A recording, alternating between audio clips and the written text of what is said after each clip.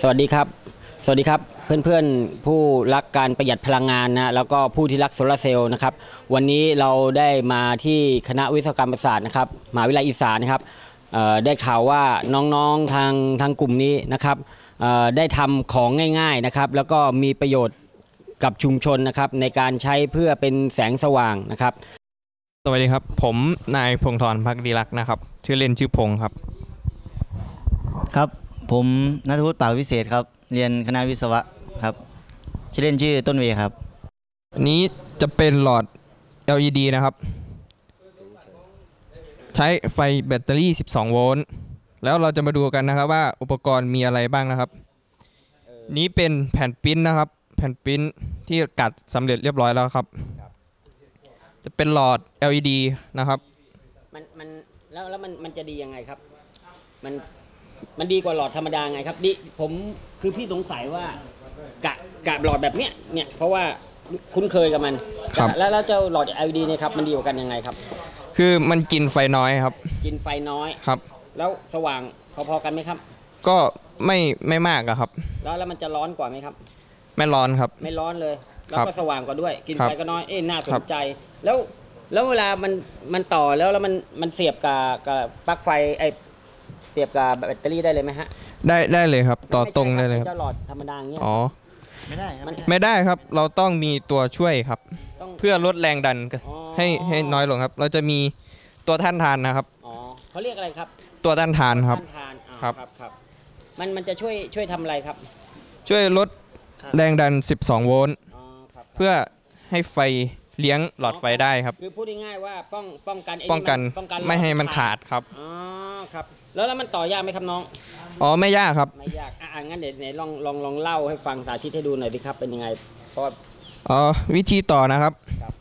หลอด LED จะมีขาสั้นขายาวขาตั้นขายาวครับ มันเป็นไงครับขาตั้นขายาวขาสั้นจะเป็นอย่างนี้นะครับ ขั้วเป็นขั้วหรือปล่าเป็นขั้วของหลอด LED นะครับ อ๋อครับครับขาสั้นจะเป็นไฟลบครับ ขายาวเป็นไฟบวกครับครับ เราจะนำตัวต้านทานนะครับ อะอันนี้ลองจับจับทำท่าให้ดูดิครับมันยังไงเราจะต่อเข้ากับขาสั้นหรือขายาวก็ได้นะครับ อ๋อครับครับแล้วเราก็จ่ายไฟเข้าครับ อ๋อเอาแค่นี้เองใช่ไหมฮะครับ โอ้ง่ายครับอะแล้วแล้วทำไมถ้าอย่างนั้นแล้วทำไมเราต้องต้องทำมาเป็นอย่างนี้ล่ะครับ อันนี้คือเราทำมาเพื่อจะให้แสงสว่างเพิ่มมากขึ้นต่อหลอดมครับครับครับ การเอาหลอดมาพ่วงกันอ๋อครับคือการเอาหลอดอ๋อ พ่วงกับตัวต้านทาน ถ้อย่างนั้นนี่หมายถึงว่า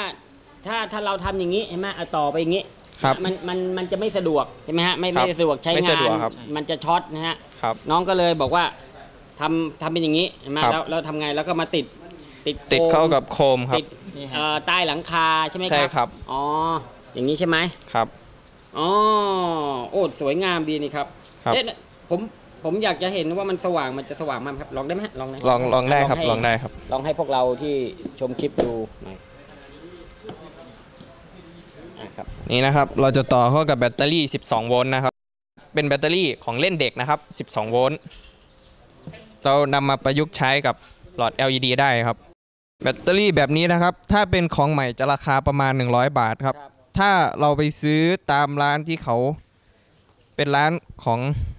ของของเก่าของเก่านะครับ ใช้แล้วหน่อยที่ใช้แล้วแล้วก็ทิ้งครับประมาณราคา 10 บาทนะครับสิบบาทครับ แล้วเอามาใช้ได้ใช้ทั้งคืนเลยใช้ได้ทั้งคืนเลยครับ คุ้มแต่เราต้องเอามาเอามาล้างเอามาชาร์จก่อนใช่ไหมใช่ครับ อะอันไหนลองให้พี่ดูหน่อยสิครับเป็นยังไงอันนี้เราจะต่อนะครับ อะอะห้อง ห้องหนึ่งสักสองดวงอะสองดวงคสรับหมายถึงว่าสองสองแถวเนี่ยนะครับนะครับโอ้โหผมว่าความสว่างพอใช้ได้เลยเออนี่ขนาดกลางวันนะครับครับอะเอาวางไว้อย่างงี้อะผมอยากจะดูว่ามันสว่างนานไหมเอาวางไว้ก่อนอ่าเดี๋ยวเราคุยกันไปนะครับ ก็ถ้าอย่างนั้นก็แสดงว่าเพียงแต่นะครับมีเจ้าลายวงจรใช่ครับตัวนี้ใช่ไหมครับครับ เขาเรียกอะไรนะฮะแผ่นปริ้น แผ่นปริ้นนะครับ เออแล้วอย่างนี้นี่ถ้าถ้าอยากจะมีมีเพื่อนๆเราที่ชมคลิปอยู่อะไรอยู่เนี่ย อยากจะมาเรียนรู้นี่น้องทางน้องนี่จะจะยินดีจะให้ความรู้กับ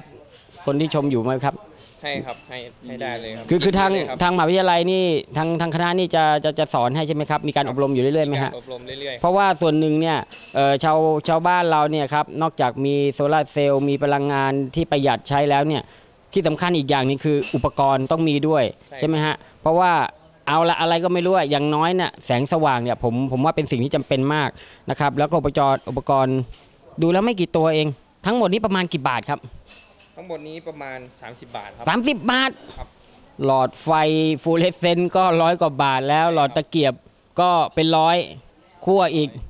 เออไหนไหนไหนอันนี้ไอตัวนี้ประมาณเท่าไหร่นะครับ ตัวนี้ถ้าเขาเขาเรียกอะไรนะ LED นะ LED ครับครับดีประมาณ5บาทประมาณหลอดละ 2 บาทครับสองบาทครับ ซื้อเยอะซื้อถ้าซื้อเยอะถุงหนึ่ง50 หลอดครับประมาณหลอดละบาทครับร้อยละบาทครับแล้วเจ้าเจ้าอะไรนะฮะตัวต้านทานตัวด้านทานนี้ ตัวละบาทครับ ตัวละบาทกี่บาทแล้วสามสามบาท บาทครับ ผมว่าไม่ถึง 30 แล้วมั้งอะอะปิ้นนี่ล่ะแผ่นปริ้นนี้นะครับ ถ้าแผ่นใหญ่แผ่นละ300 เรามาซอยเป็นแผ่นอ๋อเล็กๆอย่างนี้มาแพงแผ่นปิ้นมันครับแพงคแผ่รับนปริ้นคครัรับ บ แต่ถ้าเราซอยแผ่น เล็กๆอย่างนี้มันครับ จะได้เยอะได้หลายหลอดได้หลายแถวหลายดวงอ๋อ หลอย่างนี้นี้แสดงว่ามาคนเดียวนี่สอนไม่ได้แน่ ครับ ก็ต้องไปจับมือกันมาเป็นกลุ่มหลาย ๆ คนใช่ไหมครับ หลายๆคนเพราะว่าอุปกรณ์พวกนี้นี่ซื้อซื้ออันเดียวซื้อน้อยๆแพงแพงครับนะครับ แล้วก็น้องก็จะไม่ได้เสียเวลาด้วยนะครับ สอนสอนคนเดียวเลยนะครับอะคนนี้ท้ายนี้นะครับอยากจะให้ฝากถึงเอ่อผู้ที่ชมอยู่นะครับว่าเอ่อทางเอ่อ คณะวิศวกรรมนะครับ โดยมออีสานของเราเนี่ยนะครับของน้องเนี่ยจะให้ความรู้กับชุมชน หรือว่าให้ให้อะไรตอบแทนสู่สังคมนะสู่ชุมชนบ้างครับเอ่อของผมนะครับ อันนี้อะประหยัดไฟนะครับ ใช้แล้วประหยัดไฟ ครับหลอดไฟ LED 12 โวลต์นะครับ 0.84 วัตต์นะครับ เราจะเอามาต่อเข้ากับแผ่นโซลาร์เซลล์ซึ่ง เราตัดเป็นแผ่นเล็กนะครับ อ๋อหมายถึงว่าเดิมมันเป็นแผ่นใหญ่ๆใช่ไหมฮะใช่ครับน้องตัดมาเป็นน้องน้องสอนซ่อมโซลาร์เซลล์ด้วยครับใช่ไหมฮะสอนซ่อมโซลาร์เซลล์แล้วเอาเอาอย่างเงี้ยไปใช้งานคู่กันใช่ครับ แล้วก็แบตเตอรี่ลูกหนึ่งใช่ครับ มีตัวอย่างให้ดูบ้างไหมเคยทำไปที่ไหนบ้างอ๋ออยู่ที่วัดหนองหลูบครับเราเนี่ยจังหวัดขอนแก่นวัดป่าหนองหลูบตรงบายพาสเลี่ยงเมืองครับครับ ดูแล้วสวยงามมากครับ ก็ ลองไปชมผลงานฝีมือ แล้วก็ผลงานของน้องๆก็ได้นะครับ ว่าติดตั้งจริงใช้งานจริงนะครับ ถ้าพี่น้องสนใจเกี่ยวกับโซลาร์เซลล์แสงสว่างราคาถูกนะครับ สามารถมาชมได้ที่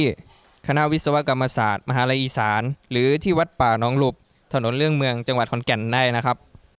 ก็ขอจบการนำเสนอเพียงเท่านี้ครับ สวัสดีครับ